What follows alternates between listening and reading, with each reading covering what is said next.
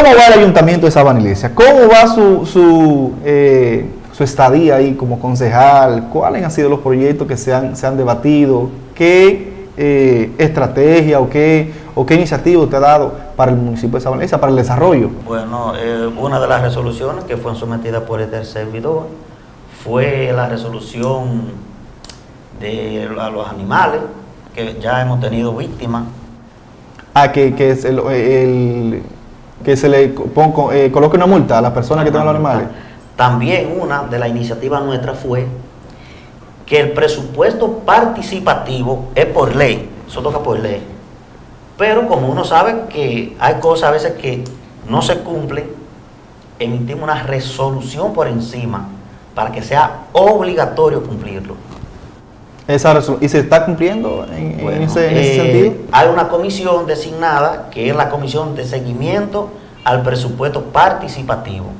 Eh, creo que para la próxima sección hay un informe, porque ya, ya el año culminó.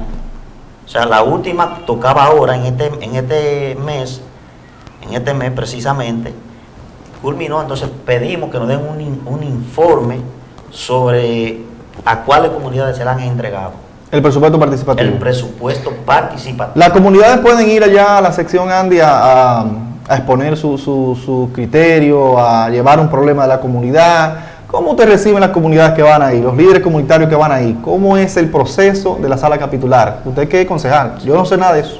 Lo primero es que el Consejo tiene una secretaría. Cualquier ciudadano X puede ir allá al Consejo y solicitarle al, al secretario un turno en la sesión.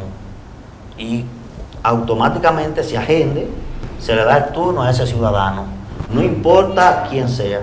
Ahora, siempre y cuando vaya dentro del marco de respeto y hablar cosas que tengan eh, argumento en un momento Y que, tenga una- que haya una necesidad en sí. Que usted diga- una necesidad. Allá va muchísima gente, ejemplo, a solicitar ayuda. Eh, bloque, cemento, eh, que una cañada le está penetrando su propiedad, etcétera, y nosotros lo recibimos. Ahora, hay que entender algo. Un regidor no maneja recursos. Un regidor nada más tiene potestad de aprobar o desaprobar.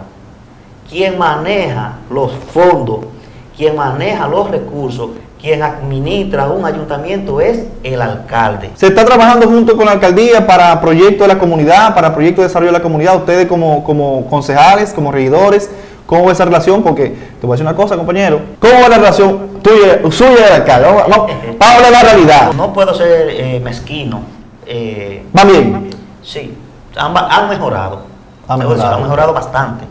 Excelente, Eh, excelente. al, Eso es lo que se principio, al principio, eh, las cosas se tornaron un poco, pero yo tengo, gracias a Dios, la, la condición de diferenciar tres cosas. La familia, la política y los negocios. No, que tiene que ser Entonces, diferente. después que Rodolfo viene del PLD y seguramente en el PRM, a mí me abordaron, me abordaron sobre qué yo pensaba de, de- de la llegada de Rodolfo al PRM.